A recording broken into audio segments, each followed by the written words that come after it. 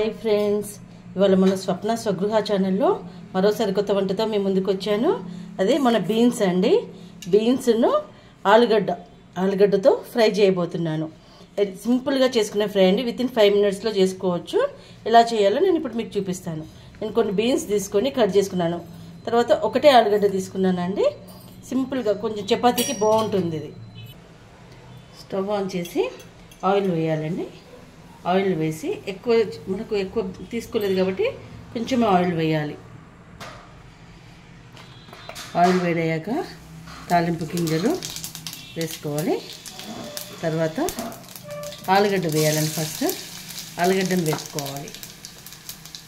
తాలింపులోనే మనం ఆలుగడ్డ వేసేసి తర్వాత కొంచెం పసుపు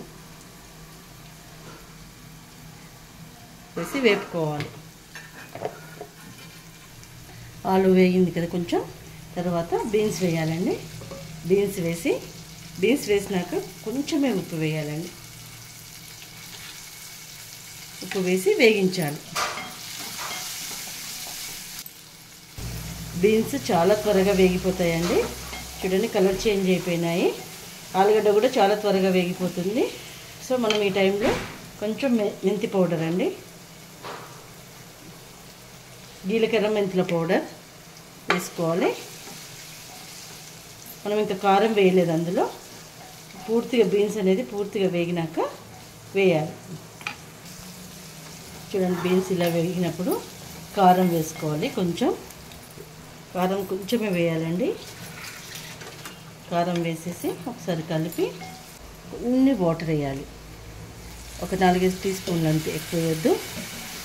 ఈ వాటర్ అన్నీ ఎగిరిపోయేదాకా వీటిని ఉడకనిచ్చేసి మనం తర్వాత దించేసుకుంటే మన బీన్స్ ఆలు కర్రీ ఫ్రై రెడీ అయిపోతుందండి. కొత్తిమీర వేసేసాను. ధనియా పౌడర్ కూడా వేసేసేయాలి ఇదే టైంలో. వేసేసి మూత పెట్టుకొని ఫైవ్ మినిట్స్లో మనకు రెడీ అయిపోతుంది. చూడండి ఇప్పుడు పూర్తిగా వేగిపోయినాయి మన బీన్స్ అండ్ ఆలుగడ్డ అనేవి. ఈ స్టేజ్లో మనం స్టవ్ బంద్ చేసేసుకొని కొత్తిమీర జల్లేసుకో కొత్తిమీర ఆల్రెడీ జల్లేసుకున్నాం కాబట్టి దించేసుకోవటమే. నా వంటలు కనుక మీకు నచ్చితే నా ఛానల్కి లైక్ షేర్ అండ్ సబ్స్క్రైబ్ చేయండి. స్వప్న స్వగృహ ఛానల్. మనకు బీన్స్ వేగినయా లేవా అని ఎలా తెలుస్తాయంటే ఇలా కట్ చేసినప్పుడు బీన్స్ అనేది కట్ అయిపోతుంది. చూడండి ఈ స్టేజ్లో మనకు బీన్స్ ఇలా కట్ అయిపోతుంది కాబట్టి అది ఉడికిందని మనకు అర్థమైపోతుంది.